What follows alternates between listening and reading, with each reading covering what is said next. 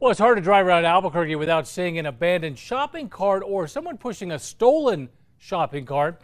For the past two months, the city's solid waste department has been collecting them, and there are a lot of them. News 13's Madison Conner is live near Yale and Coal with more on that story. Madison?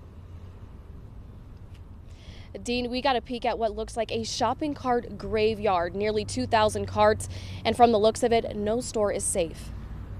Welcome to our sea of carts. Walmart, Hobby Lobby, Target, and Lowe's are just some of the big box stores falling victim to ghost carts. These were literally just stray carts that are left throughout the city. 1,885 carts have been picked up by the solid waste department over the past couple months. You can see them at um, apartment complexes, you can see them at bus stops, or you might just see one in the middle of a sidewalk and you're like, there's not a Walmart anywhere around here. With every cart that is collected, they are hoping to find a solution.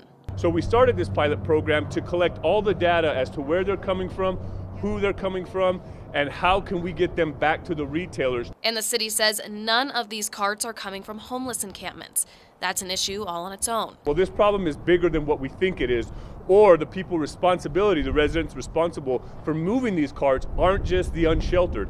They're your normal, average, everyday resident of the city of Albuquerque who's just trying to get their groceries, get on the bus, and get back. The city believes the businesses need to do more to keep carts from leaving their property. We're kind of saying, look, we've got your carts. We don't want to see these all over our city. Wanting to work together to bring back old techniques to solve an old problem. So whether they're picking them up or whether they have the brake mechanisms that I know some of the places do or the various other tools that we've used for a long time.